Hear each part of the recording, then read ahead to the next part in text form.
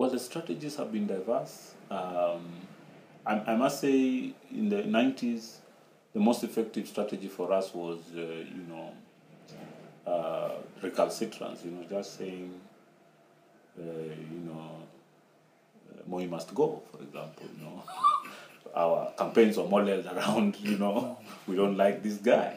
and so something must be done about this guy. And it was going out there on the street and making the slogans and the case for what you see as the object of inju- your injustice.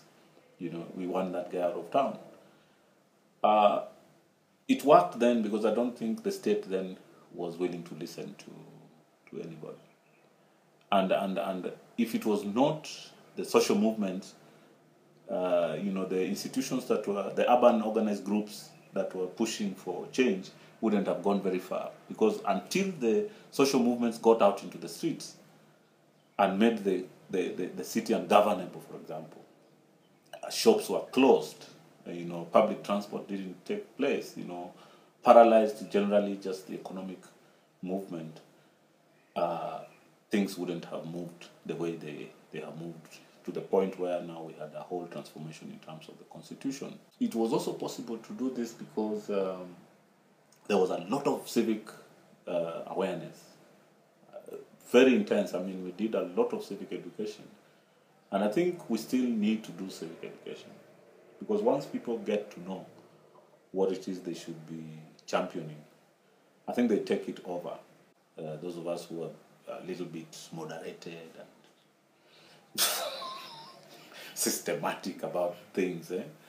While we are still doing scenario building, the citizens, the citizens left, uh, and you know, and they went with it. And and, and and I think we have to get to that point if if we want our movement to succeed.